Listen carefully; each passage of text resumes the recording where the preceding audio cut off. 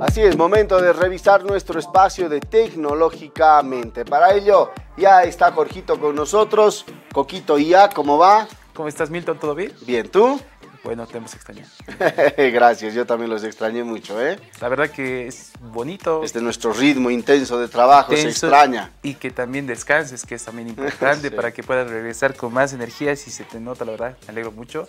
Gracias, mi hermano. Y bueno, ¿te parece? ¿Qué tenemos para hoy? Milton, vamos a tener temas interesantes porque vamos a hablar ahora acerca de un estudio que se está realizando respecto a las personas que les gustan los videojuegos. Vamos a hablar acerca de este tema porque es importante concientizar y también hay un estudio, Milton, que afirma que se podría decir que los, las personas que eh, juegan una vez a la semana este tipo de videojuegos eh, en un futuro pueden generar bastante dinero. Veamos la siguiente nota. Un estudio reciente revela que el 95% de los padres estadounidenses permiten que sus hijos jueguen videojuegos, y el 65% de ellos también lo hicieron en su niñez. La mayoría de los padres creen que los videojuegos pueden ayudar a mejorar la habilidad de resolución de problemas de sus hijos. Según la encuesta, el 58% de los padres considera que sus hijos tienen una vida social activa, desafiando el estigma de que los videojuegos aíslan. Investigaciones académicas respaldan esta visión positiva. Un estudio del Instituto Nacional de Salud de Estados Unidos examinó el impacto de los medios digitales en el desarrollo cerebral de 12.000 adolescentes. Los resultados mostraron que los gamers tienen mayor actividad en áreas del cerebro relacionadas con la memoria espacial y la atención. Además, estos jugadores obtuvieron mejores resultados en pruebas cognitivas como memoria y procesamiento de recompensas. El neurocientífico Bader Chaharani, investigador de la Universidad de Vermont, destacó que el cerebro actúa como un músculo que se fortalece con la práctica, especialmente en juegos rápidos como los de carrera o disparos en primera persona. Sin embargo, Chaharani advierte que jugar más de tres horas diarias puede tener efectos negativos como problemas de salud mental y menor coeficiente intelectual. Ah, uy, así que chiste. Charani recomienda limitar el tiempo de juego a una hora diaria y priorizar la actividad física sobre el tiempo frente a pantalla. Otras investigaciones refuerzan los beneficios de los videojuegos. Un estudio de la Universidad de Ginebra encontró que jugar un par de horas a la semana mejora el control de la atención y las habilidades de lectura. Además, un estudio en 2019 en Madrid reveló que los adolescentes que jugaban videojuegos tenían tres veces más probabilidades de seguir una carrera en ciencia, tecnología, ingeniería o matemáticas, STEM. Finalmente, la Asociación de Software de Entretenimiento, ESA, destaca que los videojuegos ya no son una actividad de nicho. Hoy en día, el 61% de los estadounidenses de entre 5 y 90 años juegan al menos una hora por semana. Y las personas que juegan videojuegos en casa tienen que tener un tema de concientización porque estos estudios revelan que cada persona que juega ciertas horas a la semana tendrían beneficios. No en temas exagerados. Y Milton, comentarte que en 2023 el tema de los eSports alcanzó 540 millones de personas. Estamos viendo que la suma de las personas que ya les interesa este tipo de videojuegos o los eSports, los famosos deportes electrónicos, eh, se está volviendo una tendencia. Estamos viendo de los cuales entre los jóvenes de 18 y 34 años juegan estas plataformas como ser también Twitch, YouTube, que siguen de cerca estos videojuegos.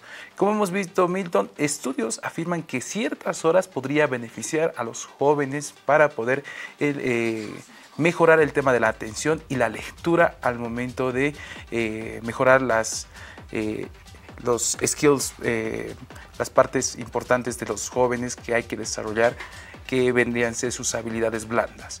Y es importante también decirles a las personas mayores, que también estos estudios que es bastante curioso, es que las personas que alguna vez han jugado o juegan ciertas horas a la semana generan bastante eh, dinero en un futuro por el tema de la, eh, de la rapidez, que eh, la agilidad mental que permite estos videojuegos. Claro, ahora, pero para llegar a ese nivel cuánto tiempo tienes que estar frente a una pantalla, ¿no? Yo escuchaba que es positivo, te puede generar una mayor destreza mental, agilidad si lo juegas un par de horas al día. Exactamente. Pero mentira que juegan un par de horas al día. Y es lo que es el punto que hay que tocarlo porque muchos de los jóvenes que ahora están con el tema de los videojuegos y muchas veces inclusive que ya estas plataformas tienen mucho del tema del control parental como muy común, es que eh, ya exagerar dos, tres, cuatro horas al día ya no sería beneficioso en tema de estos estudios, porque estaríamos eh, fomentando lo que vendría a ser esta adicción a estos videojuegos y que en algún punto, como tú lo dices, Milton, eh, no estaríamos generando estos beneficios que, eh, según estudios, permitiría la concentración, la parte de la agilidad mental en los jóvenes. Por eso es importante concientizar a las personas y a los jóvenes que nos estén viendo que obviamente el tema de los videojuegos no es negativo, pero sí en exceso. El exceso es malo y que siempre hay que limitar las, las horas que uno pasa en estas plataformas, porque hay que recordar que estas mismas plataformas, al mismo tiempo que nosotros eh, estamos eh, consumiendo el tema de sus contenidos, ellos les interesa que estemos más tiempo, todo el tiempo en, este, en estas plataformas. Claro. Eh, por ejemplo, Milton, sin ir muy lejos, estamos hablando que la inversión por parte de empresas, de los premios que existen, por ejemplo, uno de los juegos más grandes del Dota 2, que ha sido su International, han llegado a 40 millones en millones de dólares en premios para los ganadores. Entonces, es una suma significativa porque las personas consumen este tipo de contenidos y lo que hace es que estas empresas adquieran más poder sobre sus usuarios. Entonces hay que tener bastante conciencia al momento de que los padres tienen que estar atentos al tiempo que están sus hijos en estos videojuegos, porque también existe también varios juegos que ya están implementando el tema del control parental, que es muy importante porque hay ciertos eh, juegos que tienen un tipo de violencia, un tipo de cantidad eh, de fotogramas que tienen que ser observados por los padres y en exceso puede eh, ser perjudicial para la salud de los jóvenes. Entonces hay que ser, estar siempre atentos y detrás de un joven que cuando tiene este mm. tema de los videojuegos hay que tener bastante conciencia. Claro, y hay que, hay que saber cómo dominar este tema, porque ya lo habíamos hablado, este tema hace mucho tiempo atrás, se sale de control y puede convertirse incluso en una adicción. Claro, y es lo que se menciona, es que no solamente ya a nivel en otros países, por ejemplo, ya tienen el tema de la desintoxicación de los videojuegos, tienen un lugar donde ya los llevan a estos jóvenes, justamente para que no tengan, digamos, esta adicción, porque ya se puede convertir en una adicción a este extremo, ¿no? Por ejemplo, eh, sin ir muy lejos también en, Corea, en China, el tema de los eh, deportes electrónicos es bastante común y también que existen inclusive universidades respecto a este tema. Entonces, para poder eh, aprender a jugar estudiar respecto a este, estos videojuegos. Entonces eh, ya se ha vuelto algo común en nuestro día a día. Hay carreras respecto a esto y también, como hemos mencionado, las adicciones existen y ya hay lugares donde eh, los desintoxican, eh, les evitan el tema de los videojuegos, justamente porque los eSports en este último tiempo se ha vuelto bastante común. ¿no? Entonces, inclusive plataformas como ser YouTube, Twitch, invierten bastante en, la, en los premios que se dan respecto a estos videojuegos. Bueno, y sin duda alguna hay que trabajar mucho en esto, porque sí, puede ser beneficioso, es parte de la tecnología, te genera una destreza mental, una agilidad y demás, pero todo en exceso es malo, ¿no? Pero ahora hay gente que vive de esto, y lo decía bien la nota, hay gente que vive de jugar esto, están horas de horas, días enteros jugando y esto les genera por supuesto ingresos económicos, ya sea por torneos en los que participan o en otras, eh, en otras, en otros casos por eh, transmitir sus juegos por redes sociales. Exactamente, entonces este es otro mecanismo ese, ¿no? Ese es otro mecanismo y ya que los jugadores profesionales inclusive eh, generan esto en su economía, pero hay que recordarlo, ¿no? Una cosa es ser profesional y una cosa es ser amateur, ¿no? Y obviamente generar dinero, ellos ya tienen, inclusive tienen periodos de tiempo en el que ya ellos tienen que jugar una cantidad de horas, mm. pero también se limitan porque el exceso también es malo, ¿no? Ellos deben estar como una persona, digamos, jugando entre ocho horas, pero, eh, pero ellos son profesionales, son, pues, son como deportistas de alto rendimiento, inclusive se podría decir. Claro, ese tu, esa tu pleca que has puesto, Jorgito, habría que ponerla esto para jugadores profesionales, ¿no? Porque ahorita los changos deben estar, mamá, mamá, ven, ven, de la cocina le deben estar jalando. Ven, mira lo que dice el coquito ya que estudios demuestran que las personas que juegan videojuegos generan más dinero y vos no me dejas jugar. no, pero hay que aclararlo y a las personas que nos estén viendo, lo que genera más bastante dinero en un futuro pero recordemos que en la nota inclusive lo mencionamos, es que la cantidad de horas semanales y el control de esto es bien importante. Esto es, genera inclusive actividad mental, la parte de la concentración y la lectura, pero siempre en una cantidad horas? Moderada. Aclaráselos. Moderada. No tiene que ser. ¿Cuánto es moderada? Por ejemplo, horas a la semana. En la nota inclusive lo menciona, horas a la semana estamos hablando máximo dos, tres horas a la semana estamos hablando. De, juegos. De juegos, solamente ah, de videojuegos. Pero para los jóvenes ya se han ido, entonces ya los perdí. ya los perdí. Pero es que tu titular ese que tiene la pleca, claro, te aseguro que muchos le han jalado la más de la oreja, de todo para que lean. Pero Mira lo que dice, había ya la que tengo que jugar porque voy a ganar plata jugando. ¿Te imaginas? Y ahí está, mira. Pero es, eso es cierto. La lengua, ¿no? ¿Tú qué haces cuando sacas, estás jugando, tienes algún tic? Eh, moverte con los, por ejemplo, hay gente que con, cuando juega carreras de vehículos, al doblar a las curvas se inclinan también. Hay otros que sacan la lengua. ah, sí, mientras van jugando. para concentrarse. ¿Sabes qué? Creo que no. No tengo un tic. La verdad que eh, no, no tengo. ¿No has algo ah, que te genere concentración?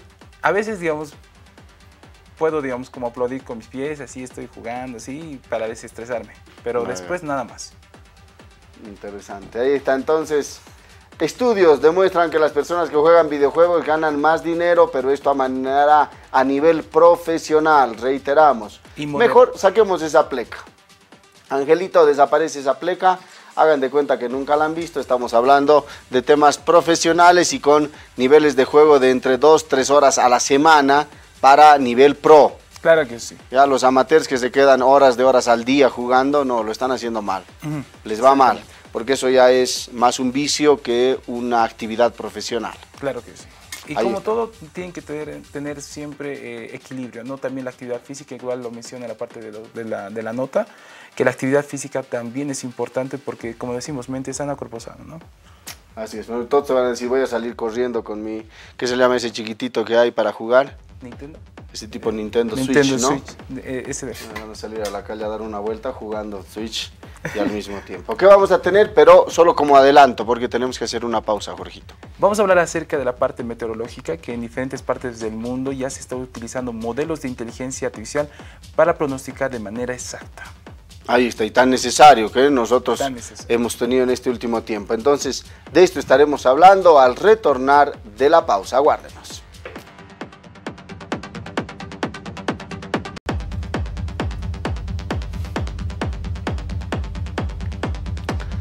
Y vamos a continuar con más de Tecnológicamente, ya lo había adelantado Coquito IA, vamos a hablar acerca de la tecnología para definir, para temas meteorológicos. ¿De qué se trata eso, Coquito? Estamos viendo que eh, se, se, están utilizando modelos de inteligencia artificial específicamente para el pronóstico del clima debido a que en el mundo en general ha habido el tema de estos desastres naturales, la parte de... A ver, a la gente le tienes que explicar, porque ahorita la gente se está imaginando que las chicas que salen en las pantallas, así modelando, o sea, ¿va a haber ahí de eso o de qué? No, específicamente vamos a hablar acerca de modelos que se están creando, eh, específicamente de estos. No las modelos no que dan El, no las modelos que dan el clima. No las modelos que dan el clima sino estamos hablando acerca de eh, estos sistemas, estos software que se crean respecto a un modelo de software. Un modelo de software que analiza el tema de datos de precisión, rapidez, el tema de la presión atmosférica, justamente para dar un pronóstico de clima exacto que se esté utilizando en, bastantes eh, lugares del mundo, ¿no? Porque eh, el tema del cambio climático es una realidad y hay que tener bastante conciencia. Así que veamos la siguiente nota. En septiembre, varias zonas de Europa se vieron afectadas por devastadoras inundaciones que sorprendieron por la magnitud de los daños. Sin embargo, las lluvias que las provocaron habían sido predichas con antelación gracias a avanzados sistemas de pronóstico meteorológico potenciados por inteligencia artificial. A pesar de contar con previsiones exactas, las áreas afectadas no pudieron prevenir las graves consecuencias, lo que subraya nuestros límites para enfrentar fenómenos meteorológicos extremos cada vez más frecuentes debido al cambio climático. La IA ha revolucionado la predicción del clima, utilizando herramientas estadísticas avanzadas para analizar datos históricos y predecir patrones meteorológicos. Estos modelos de IA pueden generar pronósticos más detallados en situaciones complejas, como inundaciones urbanas o zonas montañosas.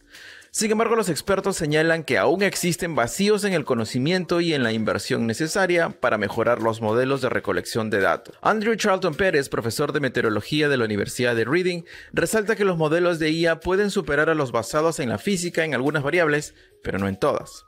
Uno de los retos es la calidad de los datos que alimentan estos modelos. Si los eventos extremos ocurren con más frecuencia o en épocas del año inusuales, se vuelve más difícil predecir desastres meteorológicos. El Centro Europeo de Prevenciones Meteorológicas a Medio Plazo ha adoptado un sistema de pronóstico impulsado por la IA que, según los expertos, proporcionó predicciones precisas antes de las inundaciones de septiembre. No obstante, comunicar la gravedad de estos eventos sigue siendo clave para mitigar los efectos. La Agencia Europea del Medio Ambiente advierte que el cambio climático traerá más olas de calor, sequías e inundaciones, incluso en los escenarios más optimistas. Según Janusz Lecharczyk, comisionado europeo para la gestión de crisis, estos fenómenos que antes ocurrían una vez en la vida ahora son casi anuales. A pesar de los avances tecnológicos, los científicos insisten en la necesidad de soluciones físicas como sistemas de almacenamiento de agua y la limitación de construcciones en zonas propensas a inundaciones. Estamos viendo que en este último tiempo la inteligencia artificial está jugando un rol muy importante en el tema del pronóstico del cambio climático. Estamos viendo que está mejorando la precisión y la rapidez de estas predicciones meteorológicas, pero hemos visto que también con la misma exactitud que se está creando este tipo de modelos, falta de inversión y de exactitud porque existen modelos eh, físicos o personas que ya pronostican este tema de datos, puede evitar eh, con más exactitud eh, evitar los desastres naturales o pronosticar estos desastres naturales, ¿no?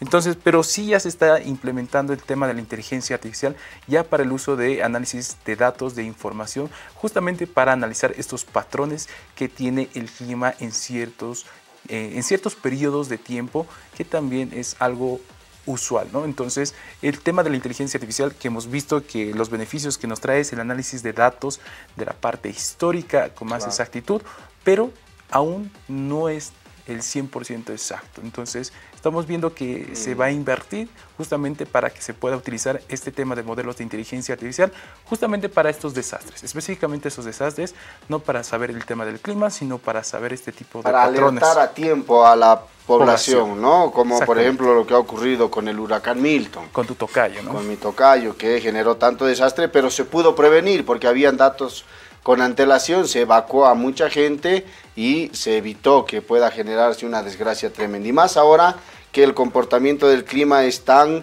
variante, ¿no? No es como antes, antes sabíamos que en determinada época comenzaba la época de lluvia, antes sabíamos que entrábamos a verano, a otoño.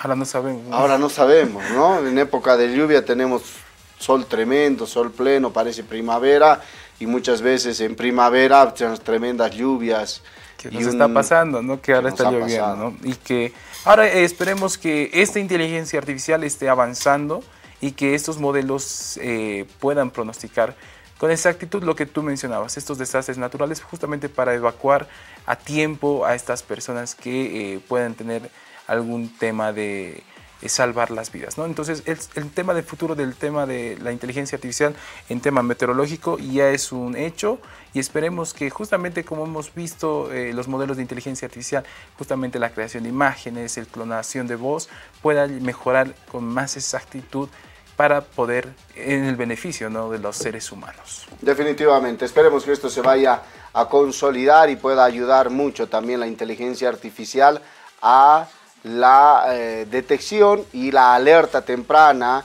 en tema de huracanes, lluvias, granizadas y demás. La inteligencia artificial que siempre ayuda, ¿no? Claro. Te va, te va diciendo mil cosas. No, e, es que el tema, digamos, de, de la inteligencia artificial es las bases de datos que nosotros la alimentamos, ¿no? Y- Eh, y eso es- nos permite, digamos, tener un pronóstico, digamos, distinto y que es más histórico. Por eso, digamos, eh, también, digamos, en, en la nota lo menciona que es muy difícil que ahora como estamos viviendo en una situación distinta, eh, puede decir, digamos, eh, estas cantidades meteorológicas, digamos, de huracanes pueden pasar como dos veces al año, pero está su- están superando estas expectativas. Ahora, Jorgito, la inteligencia artificial, la IA, es chismosa. Creo que ¿No? ¿Crees Creo que no? No, pero ¿te acuerdas que Yo cuando- creo que sí. Yo creo que sí, porque mira lo que, escucha lo que me ha llegado, ¿no? Y te lo voy a, te lo voy a escuchar para que han- ha escuchado la inteligencia artificial nuestro saludo. Y a raíz de eso me ha llegado inmediatamente y me, me habla la inteligencia artificial sobre lo que ha pasado en, en el inicio de nuestro espacio de tecnológicamente. A ver, Lo vas a escuchar.